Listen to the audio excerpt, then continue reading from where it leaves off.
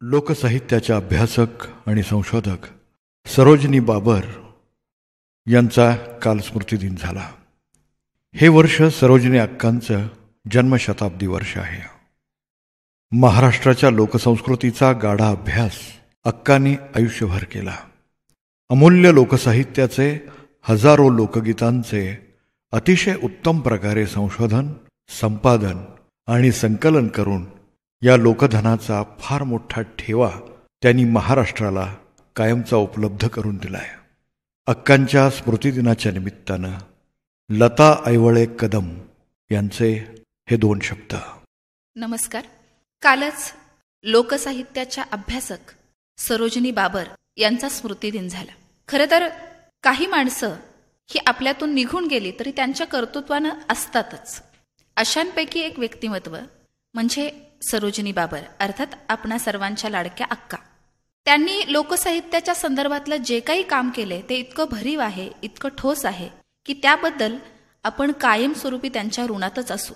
लोकसाहित्यामध्ये लोकगीतांमध्ये स्त्रीच्या मनातल्या वेगवेगळ्या भावनांना वाट करून दिलेली आहे. पण हे सगळं धन आपल्यापर्यंत पोहोचवलं ते सरोजिनी बाबर यांनी त्यांच्या संकलनातून. आणि म्हणून त्यांचं काम अधिकच मोठं होतं. महाराष्ट्राच्या कानाकोपऱ्यात जाऊन सगळ्या गैरसोयींना तितक्याच समर्थपणे तोंड देत हे सगळं धन त्यांनी गोळा केलं जमा केलं आणि अतिशय चांगल्या प्रकारे तुमच्या आमच्याकडे सुपूर्त केलं. ते सांभाळणं ते जतन करणं त्याची आवड पुढच्या पिढीपर्यंत पोहोचवणं हे खरं तर आपलं कर्तव्य आहे. ह्या सगळ्या ओव्या आपण जेव्हा वाचतो ऐकतो तेव्हा कळत नकळत आपणही त्यात गुंतत जातो आणि आपल्याला वाटायला लागतं. विशेषतः बाईला असं वाटतं स्त्रीला असं वाटतं की अरे हे दुःख तर माझंच आहे हा आनंद तर माझाच आहे. हे मलाच म्हणायचं होतं पण ते दुसऱ्या कोणीतरी म्हटलंय. म्हणजे निमित्त दुसऱ्याच असेल पण ह्या भावना माझ्या आहेत असं वाटणं हे सुद्धा पण एक वेगळी गोष्ट आहे असं आपल्याला म्हणावं लागेल. मी आपल्यासमोर केवळ निमित्त मात्र आहे. हे सगळं धन ही सगळी श्रीमंती तुमच्यासमोर ह्या ओव्यांच्या माध्यमातून मांडण्याचा प्रयत्न करते. अनेक पुस्तकांच्या माध्यमातून अनेक साहित्यकृतींच्या माध्यमातून सरोजिनी अक्कानी हे आपल्यापर्यंत पोहोचवलेलंच आहे. मी आता केवळ त्यातला काही भाग तुमच्यासमोर मांडता येतोय का त्याचा प्रयत्न करते. आई मुलगी काकी मामा मामी भाऊ वडील अशा सगळ्या नातेसंबंधांच्या भावभावनांना लोकगीतांमध्ये स्थान मिळालेलं आहे. आणि विशेषतः लोकगीतात जी स्त्री दिसते ती अधिक जवळची वाटते कारण ह्या सगळ्या नात्यांना तिनं एक स्त्री म्हणून बांधलेलं आहे. मग कधी आई दिसते कधी बाप दिसतो कधी भाऊ कधी नवरा कधी मुलगा ह्या सगळ्या लोकगीतांची ह्या सगळ्या लोकगीतांमधल्या ओव्यांची ही गंमत हा आनंद आपण घ्यायचा प्रयत्न करूया. प्रत्येक मुलीला आई अतिशय कष्टानं वाढवते आणि सासरी पाठवते पण सासरी पाठवत असताना मुलीला शारीरिक कष्टांची कामं करण्याची सवय किती सहज ती करून जाते ह्याची कोवी आहे ती मला तुमच्यासमोर ठेवायला जास्त आवडेल. म्हणजे सुजान पालकत्वाच्या वगैरे संकल्पना नसताना किती साध्या पद्धतीनं हे मांडले बघा. सासरी दळणारी मुलगी म्हणते खरं तर तिला एका मुलीनं म्हणजे दुसऱ्या दळणारणीनं दोन सासरवाशिनी मिळून जात्यावरती काहीतरी दळतायत आणि तिची मैत्रीण तिला विचारते की एवढं जड जात आहे आणि ते तुला इतक्या सहज कसं काय तू ओढतेस? आता ह्याचं श्रेय दळणारीनं कुणाला दिलंय? तर आईला. ती असं म्हणते दळण दळते मी बाह्या माझ्या लोखंडाच्या. दळण दळते मी बाह्या माझ्या लोखंडाच्या. गोटी दिल्या तय खंडाच्या मायबाई हरणीनं. भविष्यात कधीतरी दळावं लागणार नाही आणि त्याच्यासाठी मुलगी शारीरिकदृष्ट्या मानसिकदृष्ट्या कणकर असायला पाहिजे. हे किती सहज सांगितले. फक्त आईचंच प्रेम लोकगीतांमध्ये किंवा लोकगीतातल्या ओव्यांमध्ये येते असं म्हणता येणार नाही. सगळीच नाते दिसतात. आणि असाच एक सुंदर प्रसंग आहे बापाच्या संदर्भात. सासरी नांदणाऱ्या मुलीला कुणीतरी रागाने काहीतरी बोललंय.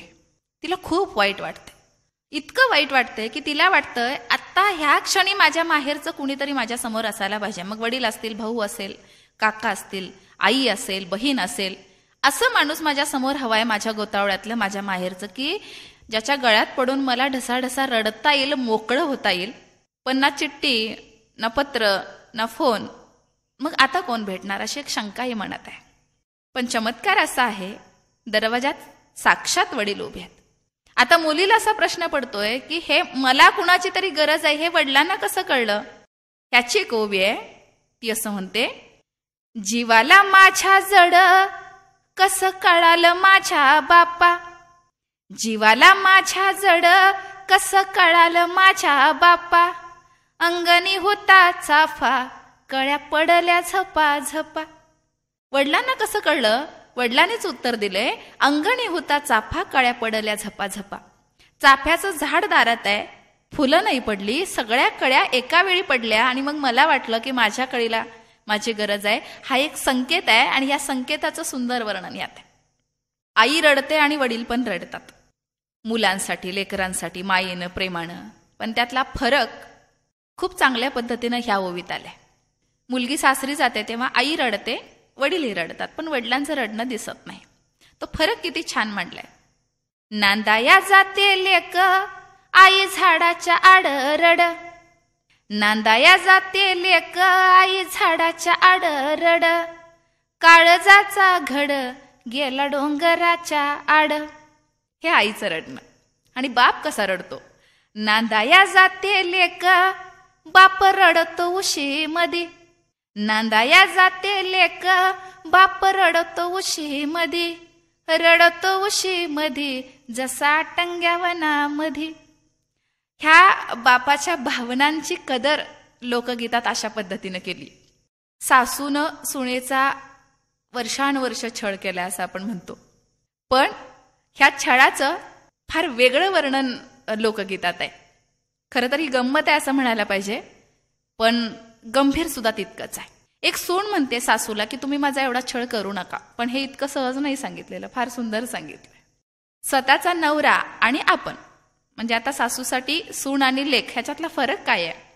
सून म्हणते एवढा सासर वास नका करू सासूबाई एवढा सासर वास नका करू सासूबाई दारीच्या चाफ्यापाशी दूरदेशाची आली जाई. चाफा तुमचाच आहे हो तो तुम्हीच लावलाय तुम्हीच वाढवलाय. त्यामुळं त्याचं कौतुक तुम्हाला असणारच. पण मी कुणाच्या दारातलं जायचं रोपटं मला आत्ता कुठं उपटून आणलंय आणि ते तुमच्या दारात लावले तर मला थोडं मायेचं खतपाणी घाला पाणी घाला प्रेमाने वाढवा. मी सुद्धा तुमच्या घरावर असा काही मांडव धरेन की तुम्हीच म्हणाल हा चाफा फक्त आमचा नाही आहे जाई हा जाईचा वेल आणि हा जाईचा मांडव आमचाच आहे. इथं ही वेदना सुद्धा लोकगीतात सुंदर होते असं आपल्याला वाटतं. माहेरी किती जरी श्रीमंती असली तरी ती बाईसाठी काही उपयोगाची नसते. नवऱ्याची श्रीमंती नवऱ्याचं कर्तृत्व नवऱ्याची गरिबी जे काय असेल सासरी ते तिचं असतं. हे सुद्धा ह्या ओळीत वेगळ्या पद्धतीनं सांगितलं. एक सासूरवाशीन स्त्री आहे ती तक्रार करते की माझ्या माहेरी इतकं सगळं चांगलं आहे पण सासरी मात्र काहीच नाही. मग आई तिची समजूत घालतीये की बाई ग माहेर किती जरी श्रीमंत असलं तर त्याचा तुला काही उपयोग नाही कारण हे घर तुझं नाही. तुझं घर कुठलं? तर ते. आणि तुझा नवरा दुबळा आहे तुझा नवरा काही कमवत नाही असं कधीही म्हणू नकोस. असा सल्ला आई देते आणि ती काय म्हणते?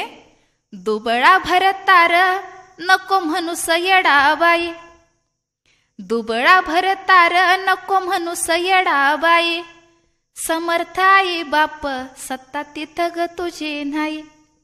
समर्थ आई बाप सत्ता तिथं ग तुझी नाही. दुबळ्या भरताराच हलक पाताळ नेसावं. दुबळ्या भरताराच हलक पाताळ नेसाव. समर्थ आई बाप त्यांच्या वसरी नसाव. समर्थ आई बाप त्यांच्या वसरी नसाव. खरं तर स्त्री आयव गेली तर ते फार पुण्याचं काम आहे असं मानलं जातं. विधवा जाण्यापेक्षा सदवा जाणं आयवलेनं लिहून जाणं हे कोणत्याही स्त्रीसाठी मोठी गोष्ट आहे असं ती मानत असते. हा तिचा वर्षानुवर्ष तिच्यावर झालेला संस्कार आहे. पण इथं थोडंसं वेगळ्या पद्धतीनं मांडले. ती बाई असं सांगतीये की मी गेली तरी आता दुसरं लग्न करा.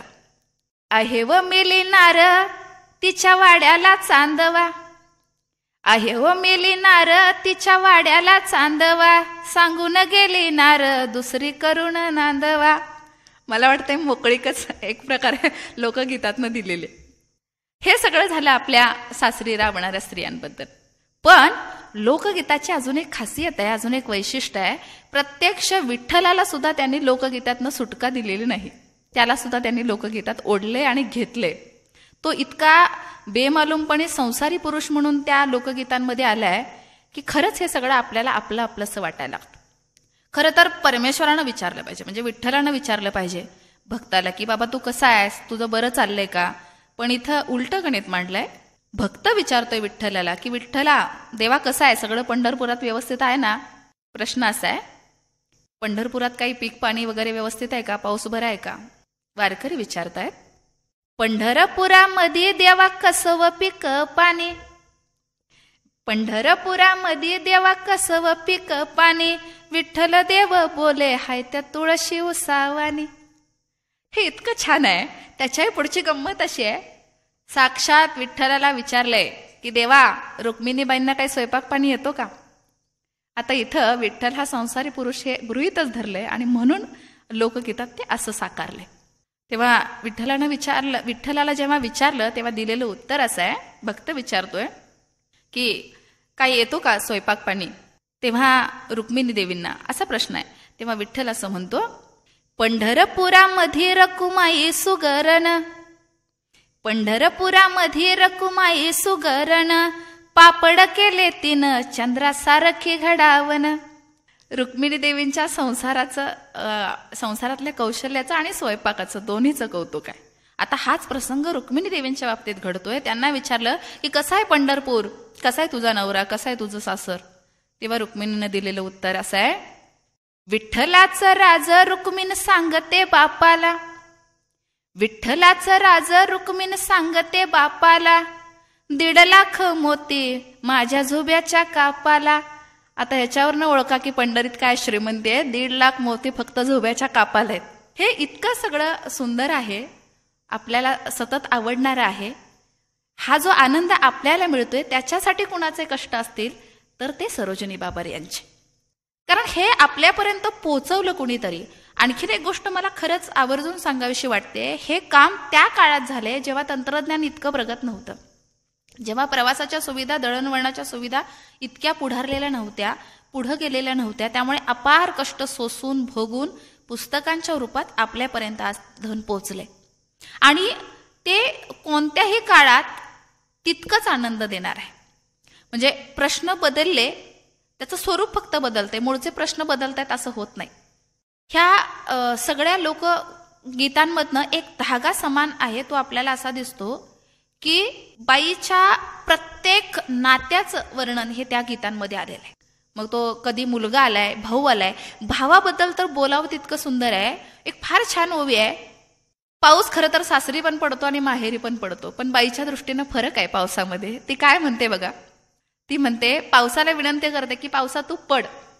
पण माहेरी कसा पड आणि सासरी कसा पड? माहेरी का पड आणि सासरी का पड? ह्याच्यातलं वर्णन असं करते ती. ती म्हणते पड पड पावसा माझा पिकू दे मुगराळा पड पड पावसा माझा पिकू दे मुगराळा पिकू दे मुगराळा बंधू घरात लेकुरवाळा पावसानं का पडला पाहिजे? तर लेकरा बाळांमध्ये असलेला भाऊ आहे. आणि मग हा सगळा कुटुंब कबीला जगला पाहिजे म्हणून तू पाऊस तो म्हणून तू पडला पाहिजेस पीक आलं पाहिजे. आणि सासरी ती काय म्हणते बघा? पड पड पावसा पड पड पावसा मळा होऊ दे हिरवागार होऊ दे हिरवागार सोनलीन चार येळ. आता चार वेळ सोनं लेण्यासाठी सोनं घालण्यासाठी सासरी पाऊस पडला पाहिजे असं ती म्हणते. हा फरक आहे. पोटच्या मुलापेक्षा सुद्धा बाईचं भावावर जास्त प्रेम असतं. असं धाडसाचंच विधान केलंय असं मला वाटतं एका ओयूमध्ये ते असं आहे पोटच्या परास मला पाटच्या चिवड पोटच्या परास मला पाटच्या चिवड पाटच्या चिवड बाळपणाची आमची जोड. लहानपणापासून एकत्र वाढलेल्या बहीण भावंडांमध्ये एवढं प्रेम आहे. की प्रत्यक्ष जन्म दिलेल्या मुलापेक्षा सुद्धा भावाबद्दलचं प्रेम बाईच्या मनात जास्त असतं असं ती म्हणते. हे सगळं आपण जतन करूयात वाढवूया. ह्या सगळ्या बदललेल्या काळामध्ये सुद्धा याचं महत्त्व तिळमात्र कमी झालं नाही याची जाणीव करून देऊयात. कधीतरी बसल्या बसल्या काहीतरी आपण यूट्यूबवरती सर्च करतो ऐकतो. हे सगळं करत असताना जे वर्षानुवर्ष आपल्यापर्यंत आलेलं आहे ह्या लोकगीतांच्या माध्यमातून ते पुढच्या पिढीला देऊयात ते ऐकूयात ते वाचूयात. आणि आपण सगळ्यांनी जर असा प्रयत्न केला तर हे धन आणखीन वाढण्यासाठी मदत होईल. अजून एक महत्त्वाची गोष्ट सांगली जिल्ह्यानं महाराष्ट्राला अनेक साहित्यिक दिले. वेगवेगळ्या क्षेत्रात प्रगतीपथावर असणारी माणसं सांगलीनं दिली असं आपण म्हणतो. त्याच सांगलीनं हे सरोजनीताईंच्या रूपातलं एक अमोल असं रत्न महाराष्ट्राला दिले. आणि म्हणून आपण त्याच्याबद्दल कृतज्ञ राहूया. पुन्हा एकदा सरोजनीताईंच्या कार्याला विनम्र अभिवादन करते आणि थांबते. धन्यवाद. लोकसाहित्याच्या अभ्यासक आणि संशोधक सरोजनी बाबर